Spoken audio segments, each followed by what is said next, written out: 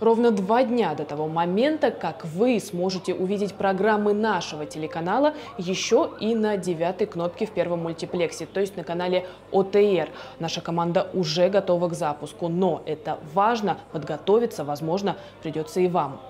Для того, чтобы обеспечить региональные врезки на ОТР, на телецентре в эти дни проводят перенастройку оборудования. По этой причине, включив девятый канал, некоторые могут увидеть черный экран, но пугаться не стоит. Все, что требуется от зрителя – несколько нажатий клавиш. Взять пульт, нажать кнопку «Меню», найти настройка каналов и дальше перейти по пункту «Автоматическая настройка». Все, дальше за вас система все сделает сама. После этого уже появятся все нужные вам каналы, и не то чтобы нужные вам, а все, которые есть, вообще доступные в поиском.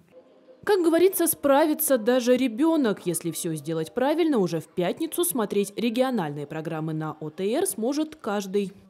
Это, я подчеркиваю, первый мультиплекс, девятая кнопка, и это охват не менее 95% населения всей Тамбовской области. То есть наши программы, благодаря тому, что мы появимся в первом мультиплексе, смогут видеть ну, практически все зрители Тамбовской области. Тамбовские врезки будут транслироваться на общественном телевидении России утром с 6 до 9 часов и вечером с 18 до 19.